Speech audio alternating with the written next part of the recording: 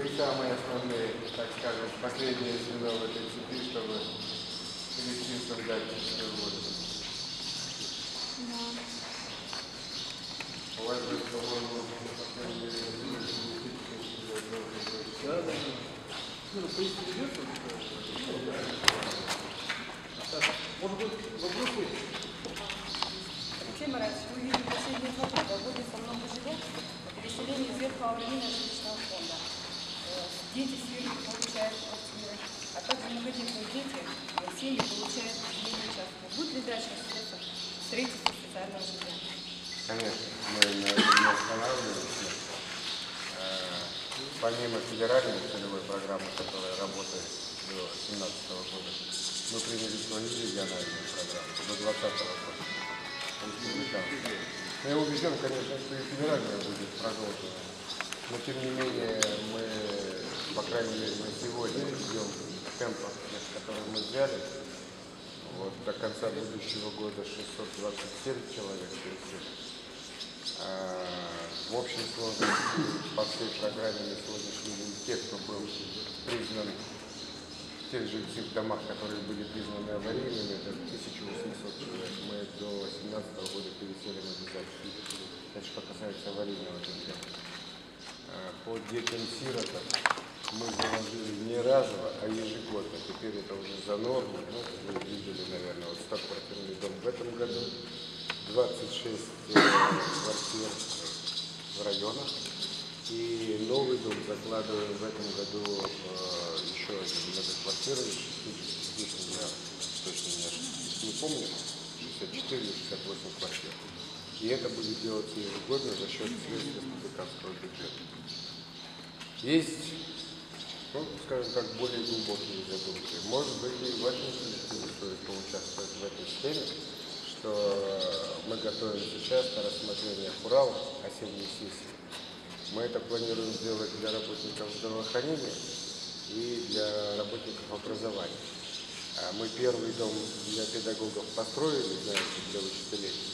А, Да, он был, э, скажем так, мы называем его социальным, но он, конечно же, был ниже коммерческой стоимости рыночного метра, которая сложилась на сегодняшнем листе.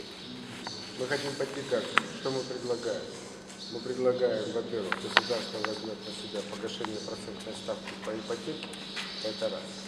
Во-вторых, на сегодняшний день правительство мы обсуждаем в зависимости от наших экономических возможностей от 25 до 50 процентов стоимости рыночного метра. И для врачей, для учителей это будет, конечно, очень серьезный подспорье. Но и для работников бюджетной сферы, вы относитесь именно к таким, пусть вы муниципальным учреждениям, тем не менее, мы могли бы совместно с вами, может быть, и ваше предприятие строить жилье для вас, для самих себя. И это не только места водоканала, это многие другие учреждения, администрация городская и другие, городское зеленое хозяйство, допустим, дорожники. Все могли бы участвовать в такой схеме. Э, Сегодня республика располагает достаточно серьезным потенциалом, экономическим и финансовым, в первую очередь, чтобы позволить себе вот такие проекты. Мы полагаем, что вот к осени мы вот этот вот пакет законопроектов э, разработаем, предложим его к Уралу, и тогда вот, вернее, сначала, конечно, на общественные слушания выставим, послушаем мнение людей, ну а потом посмотрим, что скажут наши законодатели, депутаты. Какие еще, может быть, вопросы, пожелания? Расскажите, чем живете? Столовую у вас замечательная. Да. Я посмотрел ваше меню, там чуть ли не на, как в ресторане на выбор. Два первых, два вторых блюда, там три или четыре гарнира. Хорошо живете. Мы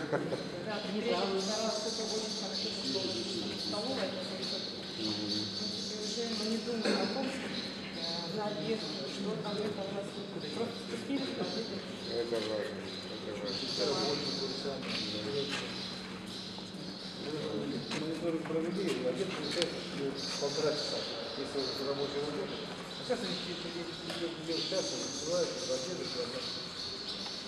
Ну, Мы все горожане. И все всегда знаем о том, что где трубу прорвет, кто виноват. Стрелочник. Но слава богу, последние годы это все случается реже и реже. А это о чем говорит? О том, что вы, ваш трудовой коллектив очень слаженно и хорошо работает. Мы все прекрасно понимаем, мы с Владимиром говорили о том, что изношенность сетей очень высокая. А, Капитальные, серьезные реконструкции за последние десятилетия, несколько десятилетий, начиная даже с советского периода истории, не было в городском э, хозяйстве магистральном. Есть мысли, есть э, серьезные предложения. Мы, в принципе, ожидаем это то, о чем, кстати, президент говорил. Вроде бы, с одной стороны, коммерчески не совсем прибыльная отрасль, но в крупных мегаполисах она работает.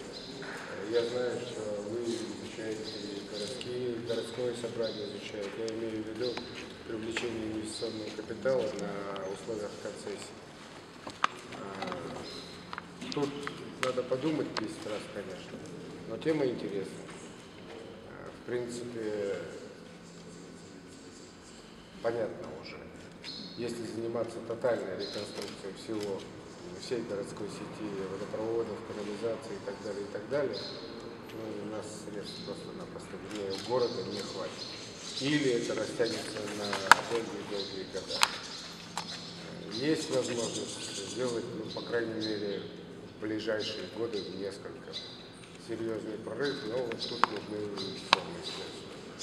Но еще раз повторю, об этом, конечно, надо серьезно думать. Хотя, еще раз э, скажу, что это было поручение президента. Вы помните, год тому назад он говорил о э, коммунальном хозяйстве. Кстати, в листе проводил совещание в прошлом году по жилищно-коммунальному хозяйству, по строительству, по переселению аварийного жилья, о чем вы спросили.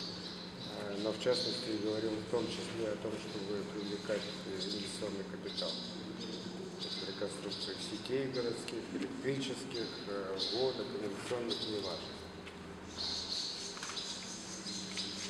Так. Спасибо. Если что, как бы, я говорю, спасибо, что приехали сегодня, да?